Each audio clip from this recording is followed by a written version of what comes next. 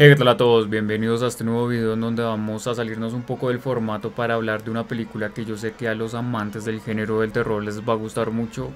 Metalocalypse, Army of the Doomstar, una película que para quienes siguen esta banda, para quienes siguen este proyecto desde el inicio en internet, creo que era uno de los estrenos más esperados y para las personas que todavía no conocen mucho de este proyecto, pues es un buen descubrimiento.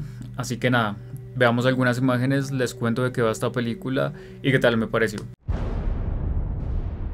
Fear, Nathan. It engulfs you, plagued by your nightmarish memories. Metalocalypse es la secuela de la película The Doomstar Requiem que salió en el 2013 hablando de esta banda, Deadlock. Y en este caso nos cuenta la historia de pues este grupo de metaleros que tratan de despegarse de su juego, tratan de mm, solucionar las, sus vidas para poder componer una canción que no solo va a salvar sus vidas, sino la vida de todo el mundo.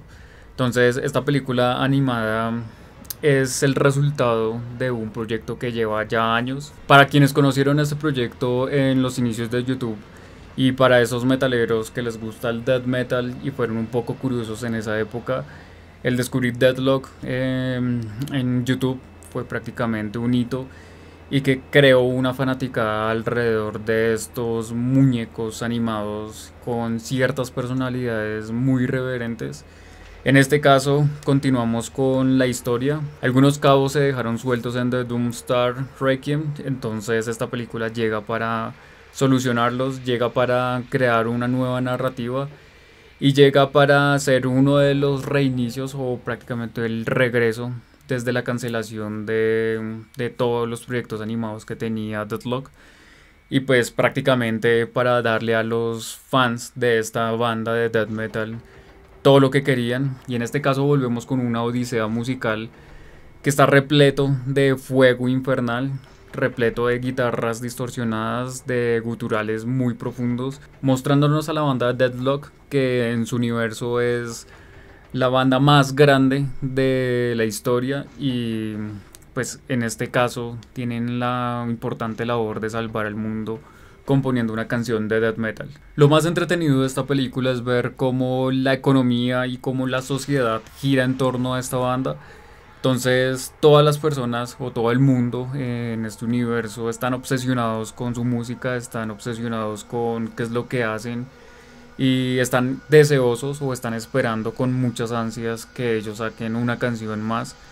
Y pues esta canción hace que mm, las rivalidades o las depresiones o ciertas características de cada personaje salgan a flote y como humanos que son tengan que sobrepasar esto para poder salvar al mundo y para poder salvarse de estas llamas infernales. Obviamente el inicio gira en torno a Nathan Explosion, que es el vocalista de esta banda, un poco inspirado por el vocalista de Cannibal Corpse, que si no han visto la reciente reacción que le hice a esta banda con su más reciente canción, se las dejo por acá o vayan a descubrirla en el canal. Pero 100% esta banda gira en torno a este vocalista, que es la firma del death metal o del death brutal metal, que es un género para verdaderos amantes del metal, con el bajista William Murderface y pues los otros integrantes que van teniendo como sus momentos en la película. El filme casi que va entrando y saliendo de, de estas personalidades y le va dando como sus minutos de gloria y cada uno tiene que enfrentarse a ciertas complicaciones para poder sacar una canción y ciertas complicaciones personales. En el caso de Nathan Explosion que es prácticamente entrar en una depresión y entrar en un bloqueo creativo en parte producto de la película del 2013 y en parte un poco de un desamor que tiene que lo lleva casi que a no importarle absolutamente nada. Entonces la película es una oda a todo este proyecto, a todas las personas que han escuchado Deadlock desde el inicio, que también descubrieron en esa época Bad Metal. Y, y, todo este revuelo que sucedió en internet con esta banda. Es una película que me recuerda mucho a Heavy Metal, esta película animada.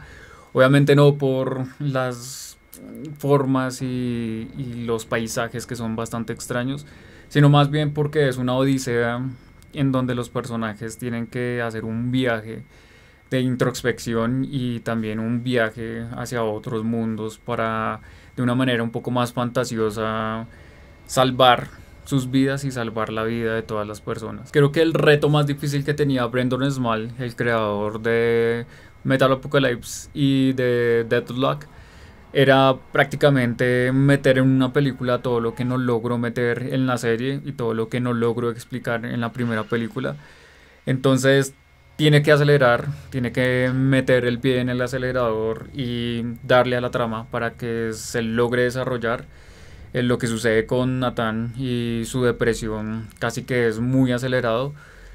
Pero la película logra hacer unos parones y logra darle como la importancia a cada personaje y logra de cierta manera explicar bien cómo es que Nathan tiene que escribir una canción que va a salvar al mundo. Si bien las, la animación y la forma en la que está hecha la película es muy cómica, creo que se presta para que en ciertos momentos tenga un drama bastante interesante y que tenga como una profundidad de tocar temas como eh, la depresión o como el hecho de que Nathan tiene que salvar el mundo y pues no es una tarea que se le encomienda solo a él, sino que entiende que la banda es son todos sus integrantes e incluso con, con la productora. Entonces, es una película que mm, podría sentirse un poco eh, rápida y que van sucediendo cosas de una manera vertiginosa, pero la película logra hacer parones y logra también disfrutar como eh, los chistes o las referencias hacia la serie. Pues prácticamente lo que hace Brendan Small con esta película es cerrar caos y darle al fandom de Deadlock lo que quieren y es ver a esta banda en casi que en su última eh, odisea y su último viaje fantástico y extraordinario para salvar el mundo. Y además de esto, obviamente la banda sonora que es lo que más gusta de este proyecto, no solo sus personajes y, y lo caprichosos o lo extrovertidos y raros que son cada uno, sino también la música que ellos crean. Y pues todo esto lo adorna un estilo de death metal bastante demencial, bastante pesado y que les va a gustar tanto a los amantes del género del terror como a los amantes del metal.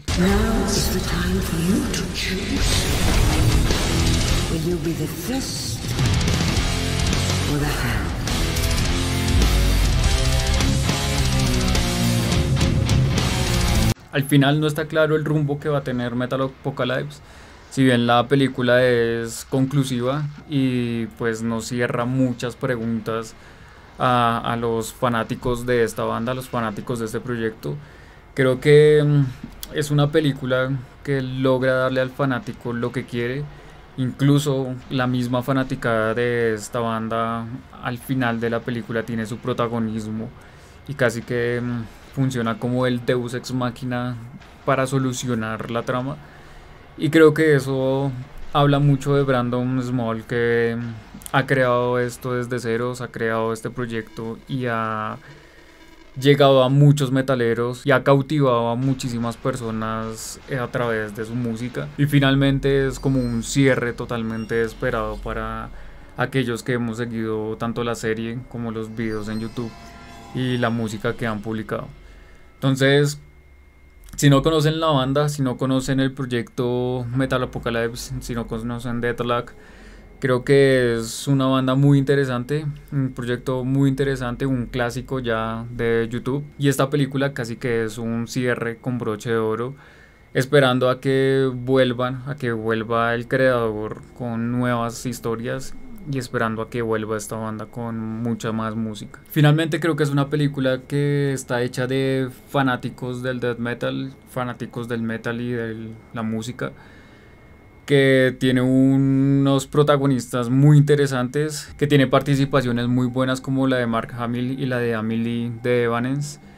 Y pues nada, es una película mm, para los fans de Deadlock. Entonces nada, si quieren descubrir una película de animación, un proyecto de animación para los amantes del género del metal y un poco para los amantes del género del terror, creo que es una recomendación muy buena. Una película que si les gusta el death metal creo que les va a gustar mucho. Y nada, déjenme en los comentarios si conocían este proyecto si conocían Bad Metal, si conocían Deadlock. Muchísimas gracias por llegar hasta este punto de este video. Muchísimas gracias por el apoyo. No olviden suscribirse y activar la campana para que YouTube les avise cuando suba un nuevo video. Si tienen algún amigo o alguna amiga que les guste el género del terror, que les guste el death metal, compártales este canal. Sé que les va a gustar mucho el contenido que hay acá. Y nos vemos en un próximo video, tal vez con otra reseña, alguna reacción o lo que sea. Mi nombre es Andrés Quintana. Esto es Fobófilo y nos vemos en la oscuridad.